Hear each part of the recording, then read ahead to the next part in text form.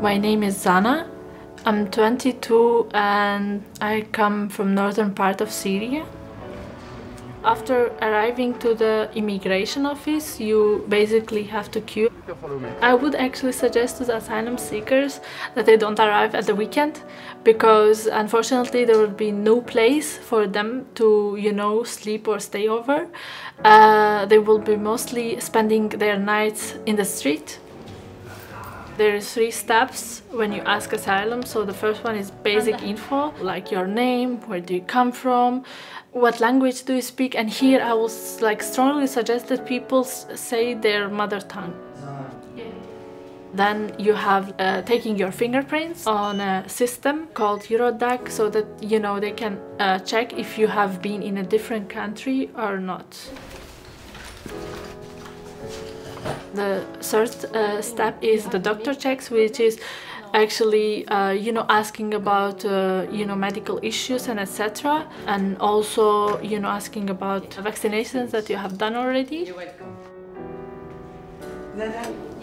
and then they give you a paper and send you to a center. Most of the times they ask if you have family members in Belgium uh, in order to send you close to there, but it is always not the case because most of the times the centers are full, so they try to kind of find place.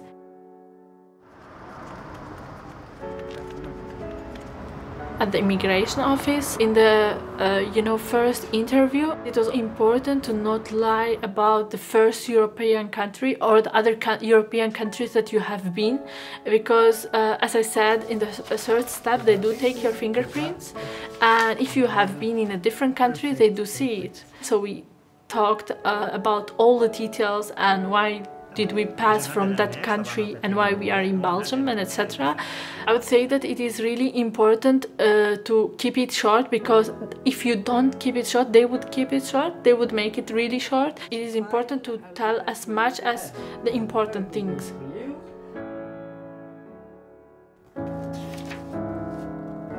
I had to wait really long for the long interview, which is at uh, CGRS um, because uh, I had a Dublin procedure. In general, it is uh, stressing. You always have this, you know, side thinking of, uh, you know, will I be able to stay here or, or will they transfer me back or, you know, these kind of things. For the long interview, actually, I prepared with the lawyer, uh, you know, asking different documents, you know, um, preparing them, uh, printing them out, uh, I don't know, highlighting them and etc. I think that was also important that I didn't lie. We got a letter uh, which was, uh, you know, saying that we are invited for our long interview at uh, CGRS. I think the big advantage of the CGRS office that it is next to the train station. So yeah, it was not really difficult for us to find it. While waiting in the waiting room, it was really stressful, I cannot lie about it. A lot of eyes, you know, who are stressing as well and in the same situation as you. And after that, uh, my lawyer arrived. So uh, he was there, he discussed with me, and then the protection officer came to pick me up. During the long interview, uh, there were a lawyer, a protection officer, and uh, an interpreter the role of the protection officer, you know, she or he asks questions um, and they're mostly specialized uh, about the countries that you come from. He would ask about, you know, uh, my own town, uh, you know, the streets, the reason of leaving your home country, uh, really kind of go in deep and tell them, you know, what really happened and how it happened and why really you had to move. I think that was also important that I didn't lie. Uh, based on those answers, uh, they uh, kind of decide to accept you, uh, to give you like, you know, refugee status, subsidiary protection or to refuse your case. So the role of the interpreter is to translate everything uh, literally The interpreter doesn't have any influence uh, at the decision. She was objective, you know, while translating. Uh, because after you know the interview you also get uh, the chance to check um, everything because everything is written. The lawyer was sitting next uh, to me. Of course not uh, you know he's not able to say anything during the interview but i really felt comfortable with my family. We had only a family document that would prove that we are a family and you know our names and our date birth and that's all. Um, all the other uh, documents that were connected to my own story I have printed them out um, online. I think uh, what was actually a big help for the protection officer that I was talking about it but I was also providing a document and so I was able to prove it in the same time. And I think it helped uh, my case a lot. You know some of the documents were asked by the protection officer actually which we didn't have in our hand.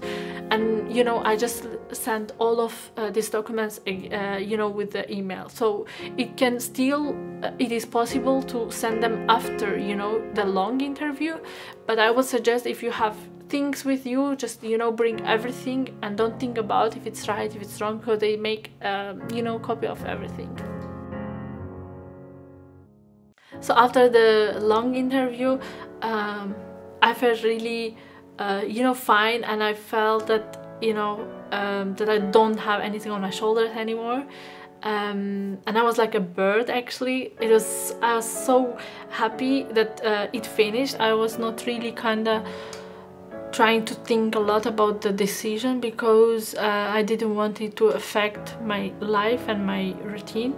So I tried to focus mostly on work and at my friends, you know, uh, spending time with my family and etc. I tried to keep myself busy because it helps me to, you know, kind of um, become like uh, calmer. You know, after uh, the long interview, um, we waited for the decision basically and um, we got it after I think 20 days uh, which was super quick. And there were people who uh, waited uh, you know for a really long time but also who waited really shorter than me. I know that there were people who got accepted in one week and there were really people who you know three months, four or maybe more. First we got a letter, um, you know, but we had to pick that letter up and uh, I got actually a call from my lawyer. That how it was.